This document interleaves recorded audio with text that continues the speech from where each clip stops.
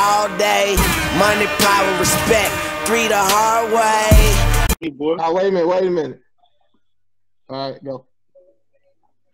Oh no, I can't see. What up, world? Welcome back to Three the Hard Way TV, the quarantine edition. We gotta look like the Brady Bunch in here on this on this screen and shit. Uh, uh, real in the middle. He the he the, uh made Alice and shit. Uh, You know what it is? um, I'm going. I'm your host today. I'm Deion. I'm gonna let everybody introduce themselves because there's too many of y'all, man. Go ahead. Whoever want to go. No, first. no, you introduced because you invited us. Okay, you you are absolutely right. We're gonna we almost almost start with the ladies. We got the beautiful Bree. We got the beautiful Charmaine. My uncle, the OG. Show my uncle some respect. Triple OG. Dan. Yeah. That's right. Turn the camera on me. Turn the camera on me. What's up? uh, we got the newcomer, Milo. Um, we got All the way from California. Uh, oh, yo, he all the way in California. All we the got, way in we- Cali. We, got Ken, ladies. Y'all starting to realize Ken is Hey, on. well, Milo, who a dude? I don't see him. You You gotta, gotta swipe scroll to the right. Scroll to your right. Why he ain't popping up as we talk? How we talking right now? Why he, he ain't popping up? No, you gotta scroll to your on your right, lad. To Just listen, everybody. just listen for his voice. And, and ladies, Jeff is back finally. Y'all can get in this inbox. He's single again too. and my boy back, Larry. Oh my, yo, oh my kids, I got something to say too. on, on today's show, um, we getting into a, a, a, a, a we gonna see how deep this goes. And my question for everybody here on the panel, Hold on, hold on. And since we got to intro, introduce your boy Real, y'all already know who I am. beginning. I introduce you first. Now he got he got to say me twice. Okay. well, hey boy, motherfucker get on YouTube and they ego get too big. You hear me? Look at him. You hear me? I'm from the big city. You know how it is. Okay, on, on today's show, uh, the topic is why does America hate the black man so much? And does it feel like to y'all America is intentionally trying to keep the black man down? Who would like to go first? By a show of hands. Okay, we're gonna start with Derek. Nobody wanted to go. All right. So if you, if you just take a moment and, and y'all just uh, gaze in on my skin complexion, so we know historically and traditionally that um, African people the first people on earth, and when you look at my skin, that's melanin. That's what determines your skin complexion, and you can you can't get white race out of white race. Everybody come from us, and you know if you look at it from a biblical standpoint, they say honor thy mother and thy father. So they don't want to know, they don't want America to know, or the world to know that we are the true father of the European race. So they try to suppress us, and that's why they hate what they're not, and they hate what they come from. Okay. Milo. Milo, my boy Milo, what you got for us? We can't hear you. We can't hear you. We can't hear you.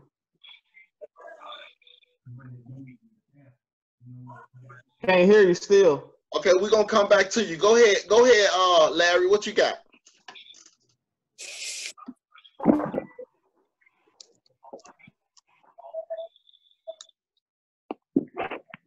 Larry.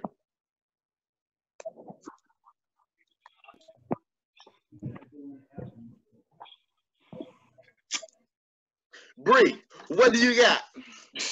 Y'all gonna make me have to do a lot of editing, man. I'm gonna have to work hard on this one. Um, why does America hate the black man? That's a very good question. Um, I think it's not so much. I think America has something to do with it because I feel like if we really knew who we really were, where we came from, and where we descended from, they would have no room in this world.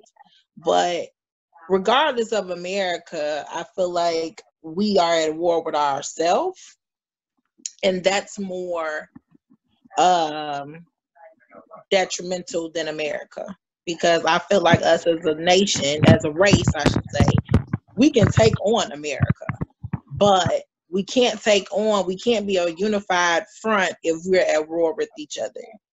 And um, I'm a reader and I observe a lot of things, and I just personally feel like um, this has been the way since the beginning of time. And so whatever wedges that I feel that America, this is why America looks so powerful, is that whatever wedges they can put in between us for whatever selfish reasons, whether it's material, whether it's guns, whether it's women, whether it's money, whether it's anything that could even things from our food to tear down our health. They they put those things there so that we can self-destruct. So I think that's the bigger war. I just think that we kind of pretty much handed over as uh, a black race. Well, I would say ethnicity because we're not technically a race because we don't even have nothing to really kind of trace because they make sure that we have been suppressed and all our ancestry has been washed away.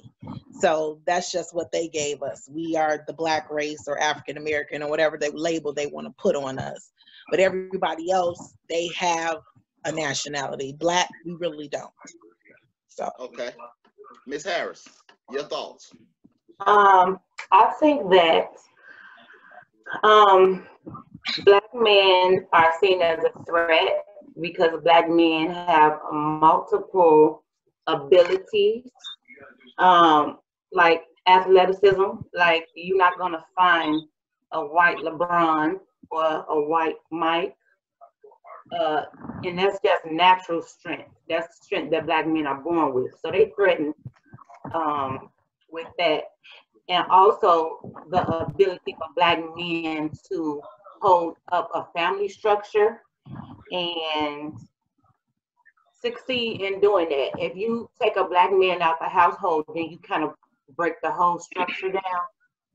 And um, they see that as a threat because um, with a black a black family together could take over the world. And you know, they feel threatened. They feel like they would be what is it called when like they're dying out.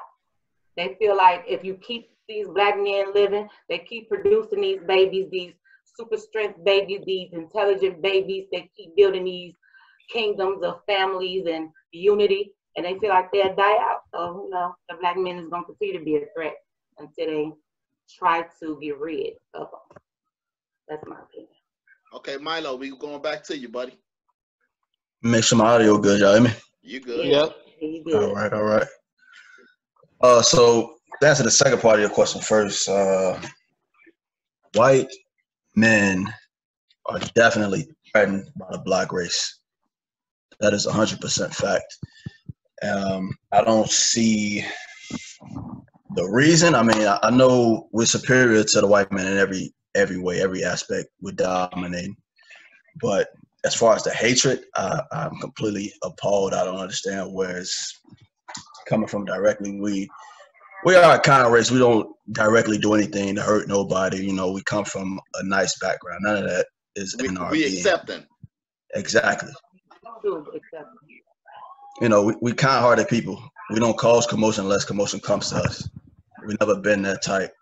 And I mean, what's going on in America today is just what's been going on since the beginning, slavery. It's nothing changed. And at this point, I feel like we're just allowing it to keep happening. They're gonna keep doing it because they see no action coming from us. And I think that's the biggest thing for us to do right now is to come together, unify, and make something happen. Actions speak louder than words. No more of the non-violent approach. We march, we speak. You know, all of that. We do it every time, and they just continue to do the same thing. So until we put forth some action, they're gonna keep keep doing what they've been doing. That's that's what I feel. Okay. Um, do you feel do you feel like it's uh it's being done intentionally. Oh, most definitely. Every black person in America is being targeted right now. From children, infants, all the way to adults. Every single black person in America. Okay. Ken, what's what's your thoughts, buddy? I definitely uh, agree with everyone that just spoke. We we we definitely are feared. Like um, it's it's it's just so much that we do. Like we we we so we educated. We we got spirit. You know, we got morals. We got values. We just and it's like it's natural. It's just like embedded in us. But it's like we've been so like brainwashed, like we swear away from it. You know what I'm saying? Like we party and drinking and like we really are like kings and queens. We'll be unstoppable. Unstoppable. Jeff, what you got for us, man?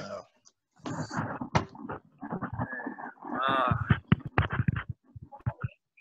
it really started off with the police, man, to me. Because, you know, police, I don't know why, why they always killing got a gun and all that. That's what all this generation about. Police is really messing up us, messing everything up in this, this, in this environment right now to this day.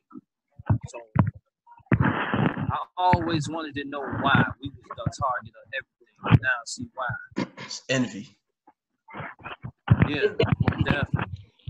Okay, real. What? You, go ahead, brother. All right, so I had just- to. I had to say you for last because I know you wrote a speech. you already know.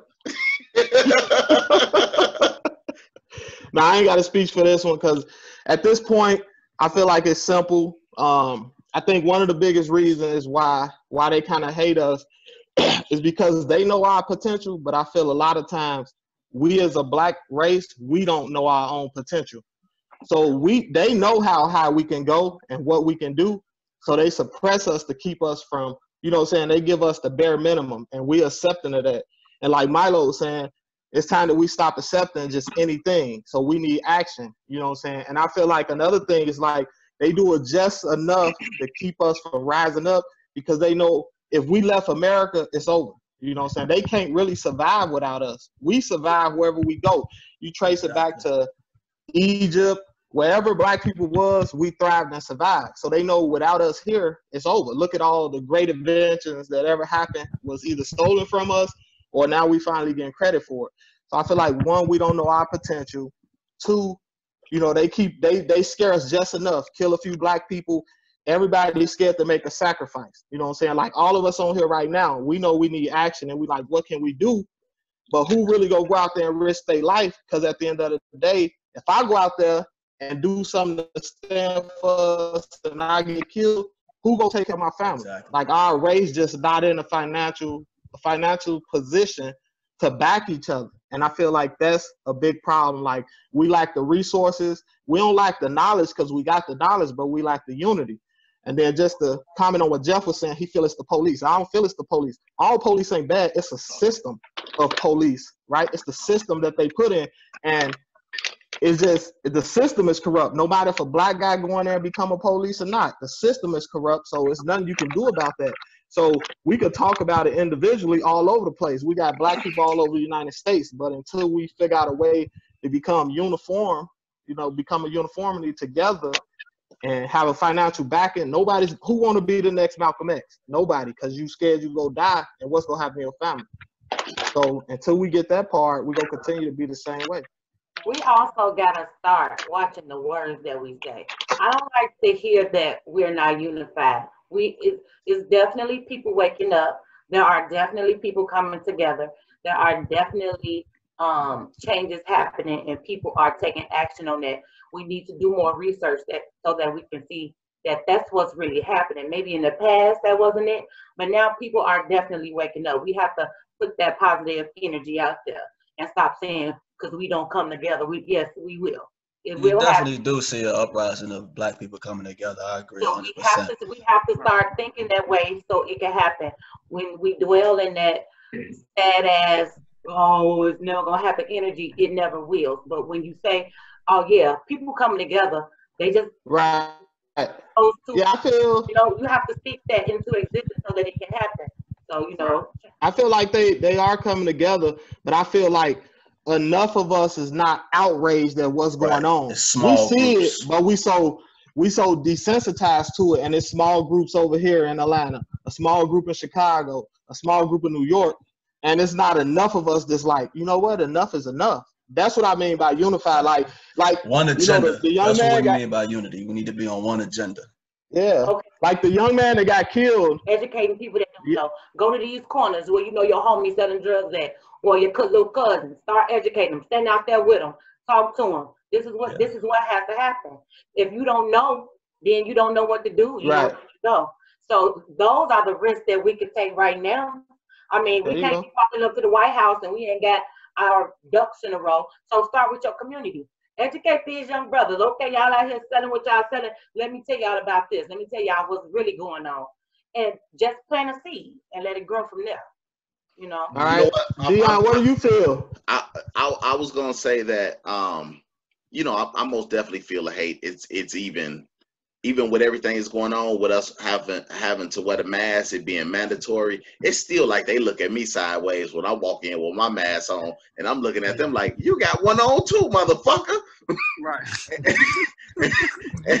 and then you know it's uh I don't really understand why they hate us so much, but then they want to be like us so much. It's like it's okay for them to to want to uh be like us. It's okay for them to want the melanin, but it's like they don't want to be black. They just want to. You know, I, I don't really know how to explain. It's like they want to. Yeah, they want said to it right. take. Facts, They I want wanna take. They want to struggle. take our, you know, all of our originality and make it theirs. But then Yeah. they don't want the title of being a nigga. You know Yeah, what they I'm don't saying? want the hardship behind it. They just want all the accomplishments that come with it. Everything great they want.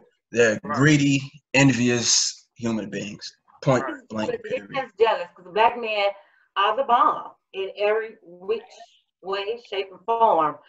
Every which way, shape, and form. They just it's a little hate there, you know. Hey, Go go ahead, know- go ahead, drop some knowledge on us, Dad. I see you over there, man. You you you, you, He's soaking it in. running.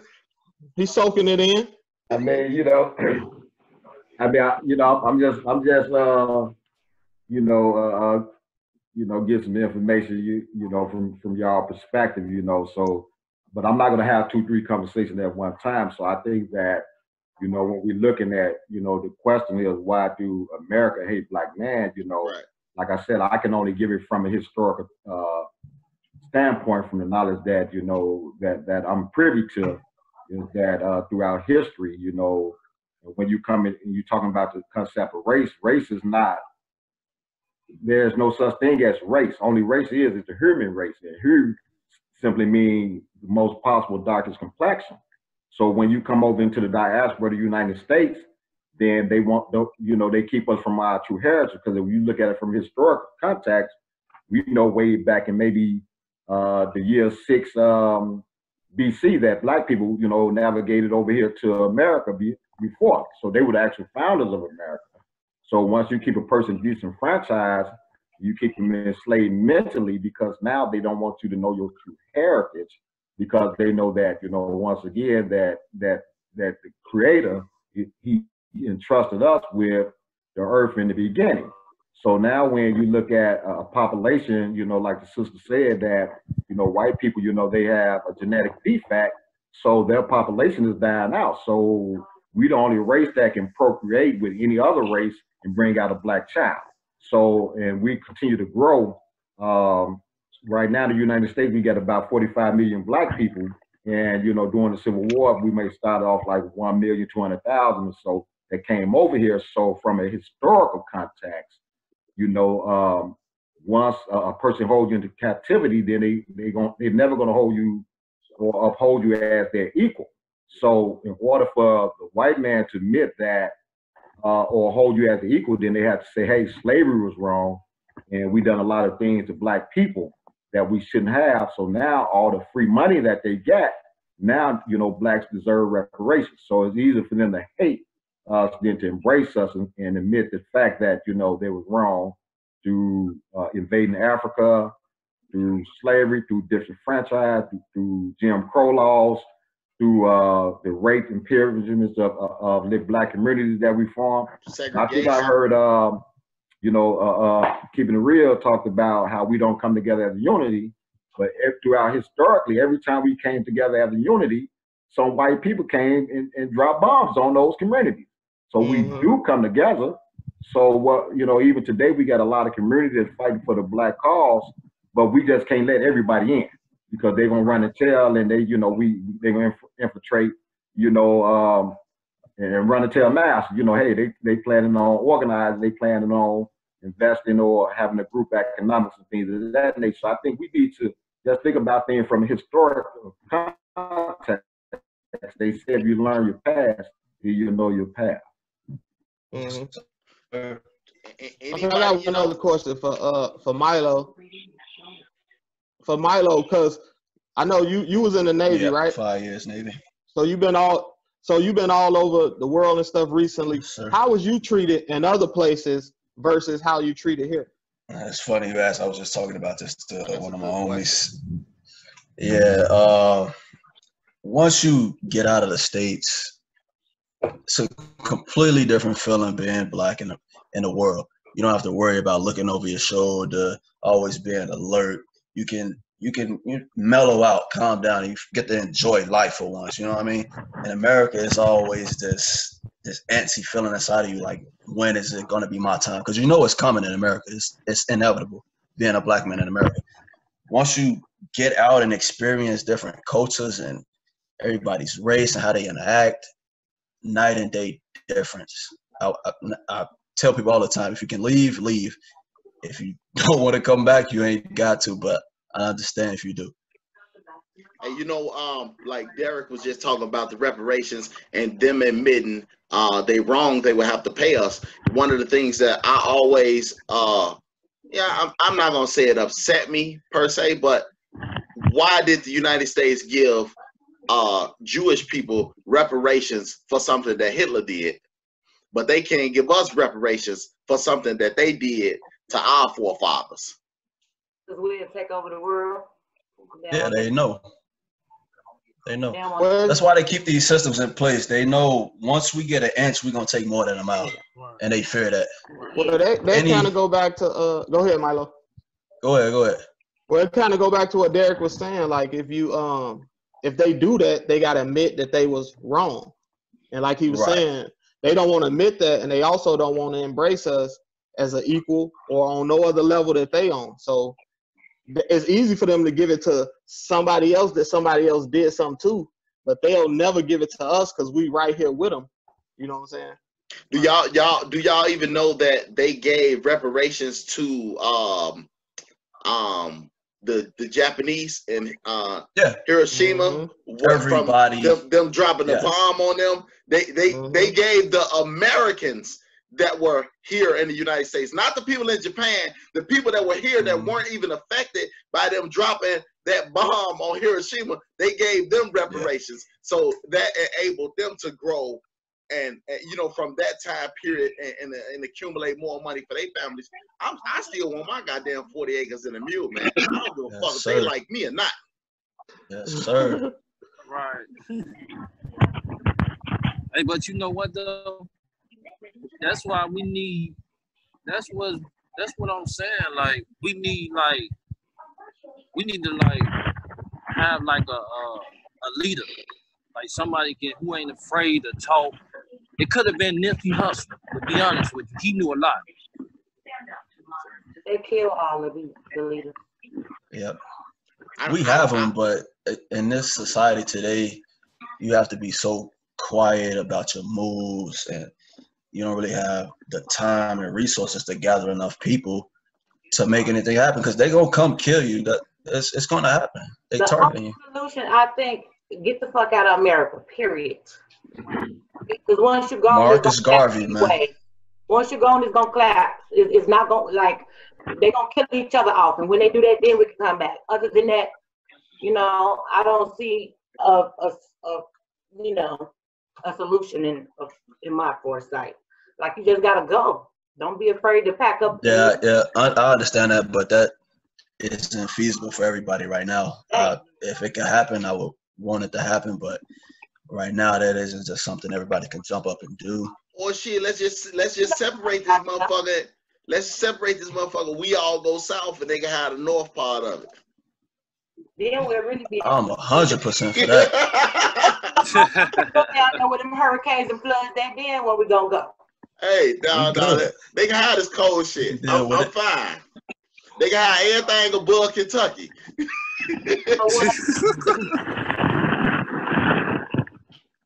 Fuck that shit. Yeah.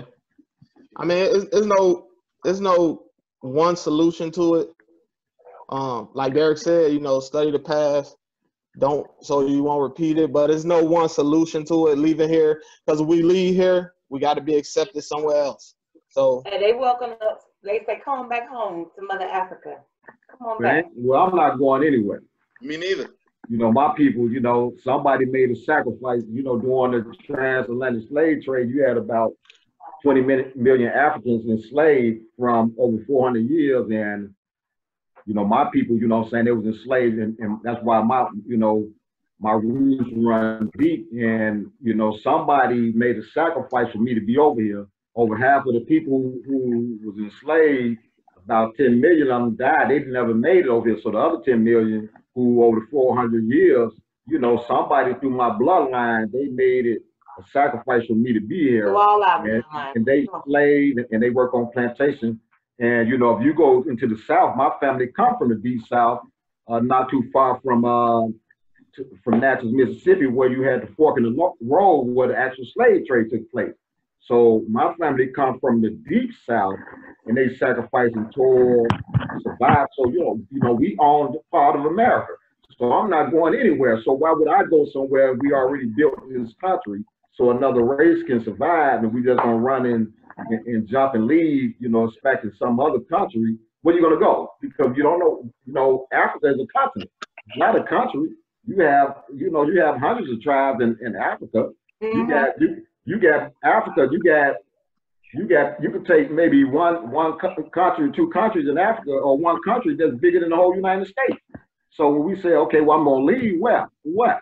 Anywhere. Now, that's not saying they, they, they won't embrace us, Take but if we if we fall and toil from you know our family fighting in the Civil War, you know before that our people fought in the Revolutionary War, they fought in the Spanish American Indian War. So I'm not going anywhere. And that's why I said split it in half. Well, I mean, had the South won the Civil War, shit, we will be split. So you know they. so I mean, I don't know if you really want that. Yeah. I'm just I'm just saying with with all, all the black folk on one side, all, all the motherfuckers who need sunscreen on the other side. That's all I'm Yeah. saying. True. True. yeah. Then. All right, yeah. What? So good points. So, so um, we go pass around the panel for closing thoughts. Everybody get their closing thoughts in. Or, if- or if what you anybody got a question for anything that anybody else said, let's go ahead and wrap it up. Well, I just want to say, do best, do what's best for yourself and your family. Um, try to find a solution for y'all, and hopefully things will work out. Okay, go ahead, Ken. start once we start like what Sean said, we got like once we stop ourselves and, and, and reevaluate and like get a, a, a deep learning, then I feel like it don't matter how long it take, when it's gonna take. Like once we fully awaken, like we gonna make something happen. It's it's it's coming. Change coming. I feel the change coming. We just don't know when. Go ahead, Jeff. Only thing I can say is uh, we can just we can just keep learning, and then once our kids start growing or whatever, teach them the same thing. Everything will fall in place. Okay. I, I'm, I'm, I'm gonna let y'all brothers uh, go last. I, I'm gonna say this from here on out, start tomorrow. All the white people I see, I'm gonna, I'm gonna give them a hug when I see them, and I'm gonna tell them it's okay. Embrace me, white man. I am not your enemy. Okay. Hey, before we before somebody else comment on what he said, I want you to let me know what you want on your tombstone. I just want to Because just just they just shot a location. they just shot a boy from running down the street. So when you walk up to hug one of these, let me know. Just let me know. I'd rather be prepared, my man. Okay, Yeah, go, I mean, I- go ahead, I- Milo. Go ahead, Dan. Go ahead. You I, mean. I think uh, you know you, we just need to focus on self-acceptance. You know, I think as long as we continue to live our life expecting other people to accept us, then we move backwards. So shit, we don't accept each other just walking to the corner store. You you know we we're afraid of each other in our own community. So once we begin to learn how to embrace each other, if we see them young guys on the corner, we know they may be taking a certain path, but if we acknowledge them, then I think they're gonna tone down a lot of the, the, the fuckery that they be a, a part of. So I think it's more important for us to begin to embrace ourselves and our true self before we want an outside race to embrace it. So, you know, that's my thoughts on that. Okay. Real Milo. Yeah, so first I just want to say rest in peace to Ahmaud Arbery and the brother uh, Sean Reed. And um, I think we just need to continue to educate ourselves on the system we live in and the society, continue to promote unity, self-love, black love. And I mean, like like everybody just said, they know a change coming. Once we knock those tasks out, we're gonna be unstoppable. So just stay focused, black people. Change is coming. Okay. Real Bri. Brittany. Um, She want to go last. I, I didn't. You were calling everybody's name, and you said if we were You to go you out were on turn mute, so I or ain't say your name. one. Right, you ain't gotta put my business out there because I was moving around. God, see this this is why we gonna be back. That go ten years right now because they they want to be at war with each other all the time. Too many chiefs. Um. Anywho, uh, I would just say, um, be the change you want to see in the world. And I feel like everybody else, I I always been a firm believer that learning starts at home. So if we penetrate our families, especially our immediate families, especially our young men that's going to go out into the world to be that be that two striker already because you're black in America and because you're a black man in America let them know that those are the odds but they're not but they're obstacles that you can get over. So i feel like again we need to be the change we want to see and make sure that we are infectious and depositing that same energy into those closest to us so that we can pen- permeate the rest of society. And that's it. Okay. Um, I feel like the piggyback kind of what Derek was saying. Like, I think sometimes um, we think we think on a larger scale too fast. Like, we so busy trying to make the world accept us when we need to start in our own neighborhoods where we at. Start there, because that's really your world. The world is so big, you you like a grain of salt. But the world you live in is where so try to start to change there. And then another big thing is like, because I lived in multiple states, is I, I encourage people to be aware of where you live at, what state you live in, what city you live in, because it's it's racism and stuff everywhere. But a lot of this shooting and stuff, it happened in certain places, seem like to be consistently. And those places got it's different laws for state levels, you know what I'm saying, municipal and all that. So just be aware of where you at and what's going on in your area. Okay, man. I want to thank y'all all for coming on. dropping y'all knowledge. You know, we try we tried to stay the course and and, and, and stay focused. I know it's it's kind of hard to uh, do that when you know we talking about uh, a race of people emotions get a little high and we can uh, sway from the subject a little bit. We tried to keep it on point as as much as possible, and uh, you know, if y'all like this video, y'all go ahead give it a thumbs up. Leave your comments below. Um, man, I appreciate y'all tonight, man. I ain't saying goodbye and saying everybody's name either this time because it's too many y'all. Just wave back Make to sure the you people. that subscribe button. subscribe button on the bottom. And we'll see y'all later. Three the hard way. All day, money, power, respect. Three the hard way.